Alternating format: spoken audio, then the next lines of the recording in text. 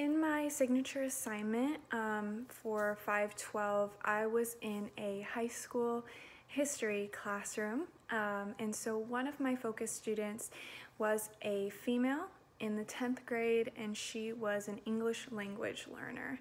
Um, she is in the early intermediate stage um, of, of her English language. And so um, some of the things that I noticed and spoke to the teacher about when I was in my observations is that she struggled more in her writing, um, but really excelled when she had the opportunity to um, speak her answer or express what she knew by speaking rather than writing. Um, and I saw this when we did a classroom debate for one of my lessons.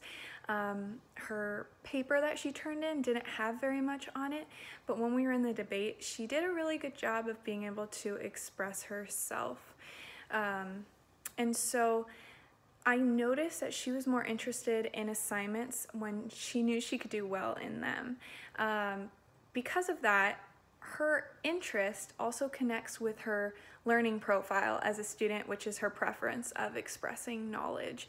Um, so you don't always want to let a student only express what they know one way because then there's no growth there but um, I would want to make sure that when I am able and when it's appropriate to give multiple modes of representation for students when um, you know creating those assignments or classroom activities to give her that chance to verbally express what she knows if maybe it's not coming through in her writing. And then we can go back to her writing and help her through that. But she just may be more interested and more confident in what she's learning if she knows she has a um, an opportunity to verbally express herself in the classroom. Um, in a journal article in Communication Education, uh, Joseph Mazer discusses positive relationship between student interest, motivation, learner empowerment, and student-teacher relationship. So basically, the more a student is interested in class,